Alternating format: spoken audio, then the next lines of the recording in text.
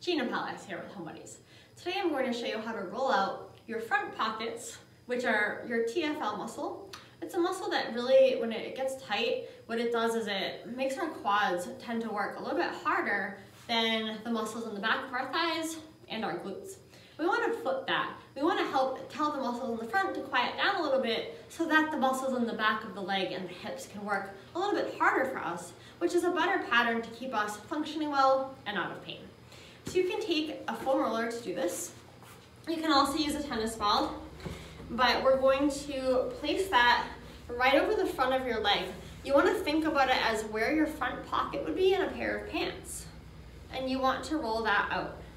So it's good to spend about a few seconds on every inch. So you're going to go an inch, spend a few seconds, an inch, spend a few seconds. So the tendency is for people to just kind of go like that, which is still useful, but you're going to get a little bit more out of it if you take more time.